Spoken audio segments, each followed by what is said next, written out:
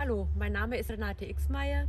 Ich bin Kreisbäuerin im Landkreis Neustadt an der Eichsbad-Windsheim und schon seit über 20 Jahren in der Ernährungsbildung unterwegs. Sei es, dass ich in den Grundschulen den Ernährungsführerschein durchführe oder auch in der Erwachsenenbildung für unseren Bauernverband oder für die Gartenbauvereine. Saisonalität und Regionalität liegt mir sehr am Herzen. Es ist wichtig, dieses Wissen, das früher eigentlich ganz selbstverständlich von den Müttern und Großmüttern an die nächste Generation weitergegeben worden ist, dieses Wissen wieder in den Köpfen unserer Kinder zu verankern. Sie möchten sich eigentlich alle klimaneutral, umweltschonend, ressourcenschonend verhalten, nur wissen sie es nicht mehr, weil es ihnen niemand gesagt hat, wann hier was zu tun ist oder wann wir was ernten können. Wir können alle zusammenhelfen durch unser Schulfach, dieses Wissen wieder an unsere Kinder heranzubringen.